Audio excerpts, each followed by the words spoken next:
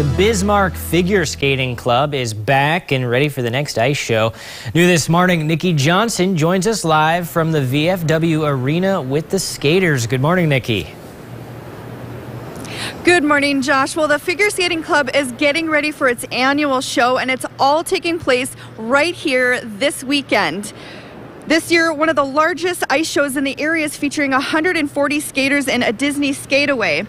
Skaters will perform individually and in groups. And one group, the Ice Chips and Connection, is award winning. The skaters put in collectively 500 hours of practice time, and they were all trained and choreographed by a team of coaches. And right now, I have Shay Thiel here with me. She is a senior from Century High School, and she's one of the skaters that's performing in the show. How are you doing this morning? I'm good. How are you?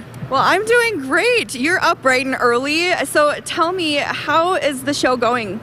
Uh, it's going really well. We've had a couple weeks of some really good practice, and I think we're all just really excited to perform in front of our audience this weekend.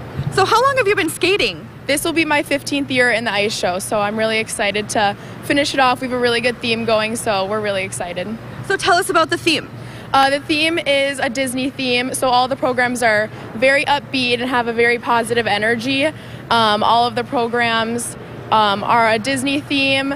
And um, yeah, we're just really excited to skate in this really fun theme this weekend. Well, it looks great. All of your uniforms are super cute and sparkly, and I, I love the uh, the. There's a snowman around here somewhere, right? yeah. well, uh, t- if people want more information, where do they go? Yes, for more information, you can visit BismarckFigureSkatingClub.com.